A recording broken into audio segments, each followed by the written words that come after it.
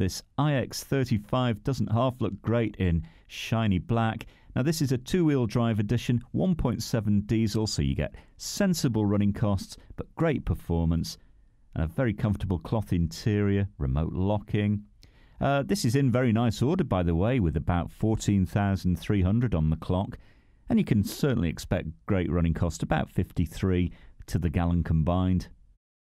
Now, don't forget, at FOW, the price you see is the price you pay. There's no hidden charges or extras. You can ring and reserve with no deposit and no obligation. Bring your license with you, have a test drive. Discover this great car for yourself at Fords of Winsford.